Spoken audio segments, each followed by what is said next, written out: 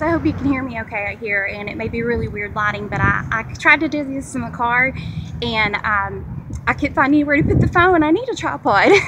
but uh, I have been praying for God to show me if there were some things He wanted me to share uh, with other people that He's been speaking to me. A lot of times He'll give me prophetic dreams uh, or words that are just relevant to my life. Uh, as He does for all of us, He may speak to us in various ways. Um, but what I'd been asking is whether or not he wanted me to share some of these things with other people uh, in the body of Christ because what would encourage me may also encourage you.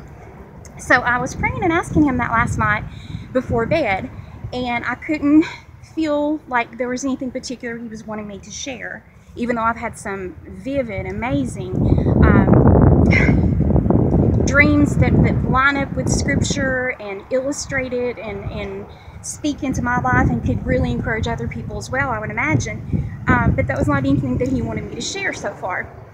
But I went to bed and I was really tired and I thought I would fall instantly to sleep. And so I started started dozing off and the Lord woke me up multiple times, gosh, between probably two o'clock until I don't think I finally fell asleep until around five. and I'm not going to share everything that, that he showed me, but there are two things that I felt like uh, might be something that might be an encouragement to someone other than me. And the first thing when I was dozing off that God woke me up to say was, uh, I heard in my head something we've probably heard before, possibly, um, well, this is going to sound funny, I'll just say it. What I heard in my head was participants will be compensated for their time and travel.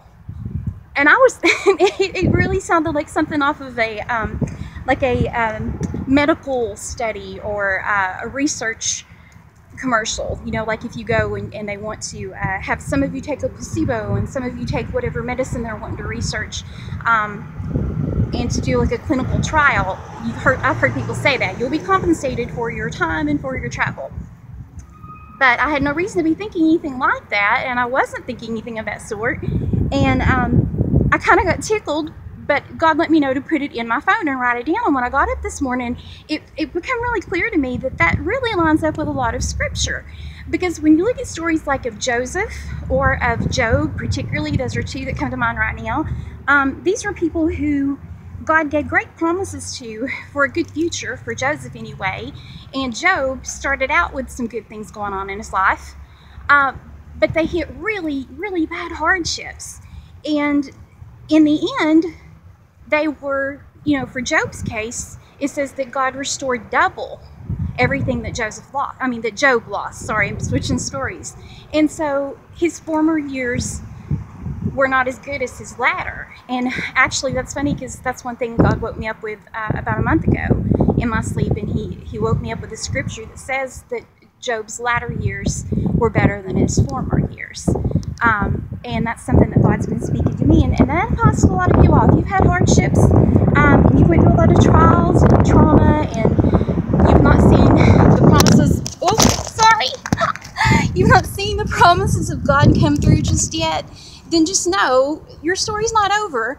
Um, and your latter years may be far better than your former. Uh, but I thought that phrase was kind of funny that God said that. Participants will be compensated for their time and travel. So if you've suffered, you're going to be compensated. Your time has not been wasted, it's not been in vain. Um, the Lord has the best compensation program. Um, he can he can pay us back double. He can pay us back seven times, a hundred times, and he can pay us back in ways beyond monetary, beyond um, any kind of benefit that we could think of needing or wanting on our own. And he knows better uh, what will be a blessing to us than we could ever ask for for ourselves. He can give us exceedingly abundantly above all that we ever ask or imagine. And uh, I think that really is something he's wanting to say to a lot of people that have been suffering. Uh, you're going to be compensated. It's coming. Now, this next thing that he woke me up with uh, was really peculiar. Uh, and I, again, I was trying to fall asleep, and he kept waking me up with other other phrases in my head, or visions, or dreams. And um, this was again. Sometimes he'll speak things to me, and I will think, I think that word sounds familiar, but I might not even be certain that it's a word I know the meaning of. And to me, that kind of validates that it is from God because it's not something I would be saying in my own day to day vocabulary. And if I'm not even completely certain of what the word means, then I'm sure I wouldn't be thinking it up on my own. Uh, and so, what God spoke to me the next time is He said, Pundits have been polluting the airways. Okay, now I know I've heard the word pundits, but I wasn't completely certain that I understood what the meaning of the word was. Um, I think from context clues, I could kind of figure it out a little bit, but it was probably four in the morning, so you know I wasn't really thinking clear. So I went ahead and looked it up, laying there at four in the morning. God's going to wake me up. I might as well, uh, you know, Google it. Um, so I looked up, in pundits. Um, originally it had a positive connotation as being someone that's an expert in a field, but now it's more commonly used to uh, it's said to refer to someone that might be like a know-it-all or a blowhard who may be giving um, um, overinflated information or um, maybe arrogant information or critical information. So someone that may try to act like they know and paint a picture a certain way or tout themselves to be an expert when they really don't know what they're talking about. So God was saying that pundits have been polluting the airwaves. And what I took that to mean as I was reading and um, studying and praying on it was that we hear things from people and we hear things from the news and we hear things from um, I think demonic voices. You know, Satan will speak into our mind and he will contradict the word of God and he will contradict what he sees God doing in the spirit realm. So, lots of times we're thinking and feeling and hearing things that are completely contrary and contradictory to what God is actually doing.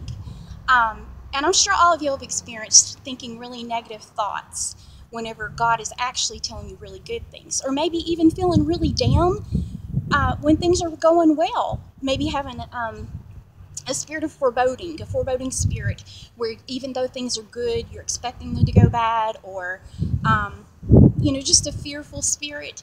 But the Lord was just saying that that pundits have been polluting the airwaves. So don't listen to any voice of a person or a news media or you know, friend, a spouse, a um, or just a negative thought in your own head that could be, you know, the devil speaking to you, do not listen to those voices that are contrary to the word of God, of anything that he's spoken into your life, uh, or of anything that you know goes against what he would want for your life. Um, so those are two things that he spoke to me. Uh, they seem kind of peculiar, but like I said, God has been speaking to me through um, dreams and visions and things like that so much more um, since the end of summer, maybe early fall, I've experienced dreams and, and things like that before, and God has definitely spoke through the prophetic, but it is intensified. And everyone I'm talking to um, that has a really close walk with the Lord and that is Holy Spirit filled and who seeks to be in His presence, I'm hearing it everywhere. I'm hearing that I'm not the only one, and you may be hearing more from God on those realms too. Be open to it. Seek Him. Um, ask him to speak to you in ways he's never spoke to you before. It's really exciting. And um, whatever he tells you, believe it. Latch on to it. Don't listen to the pundits, you know, and know that your just reward and your compensation is coming.